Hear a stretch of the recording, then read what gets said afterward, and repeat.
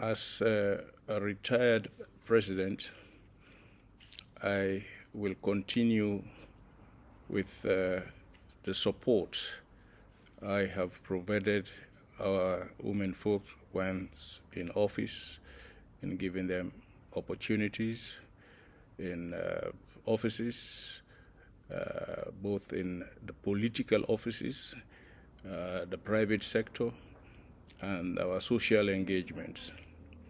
I'll pledge that I will use my office and also the foundation I am about to establish to continue with this support, to continue to advocate for support and opportunity to be given to our women in politics, in business, and in our society.